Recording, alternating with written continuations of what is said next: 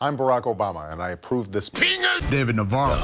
Cancer critic. Nostalgia critic. criminals, gluttons of greed, and the evil genius who towered over them, one and has the guts to speak his name. Big Bird. Big Bird. Big Bird.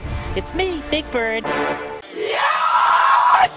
You want to complain? Go put your head in it. PBS. Big, yellow, a menace to our economy.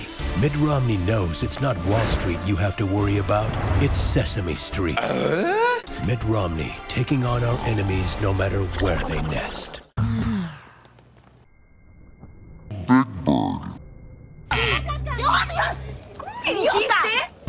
Big Bird.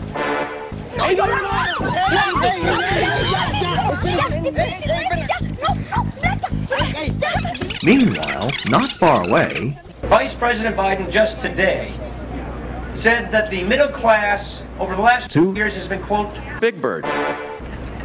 We are a beacon of light around the world. At least that's what we can be. Big Bird again.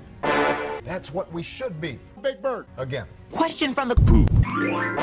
What is it? Personal science and deputy dance to race one two and personal science by two and a half lengths. Deputy dance second and civil suit finished third. Come on, man. You're entitled as a president to your own airplane and to your own house, but not to your own facts. Come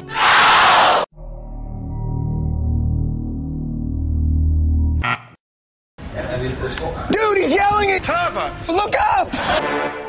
Look up! What are you looking at? What are you? Same shit, different day. If you're inside that debate room, what do you tell them? I say Big Bird. represent who you are.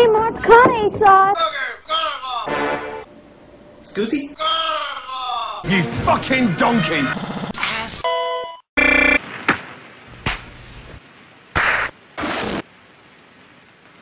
You little Big Bird. get out! That's right. That's old. No.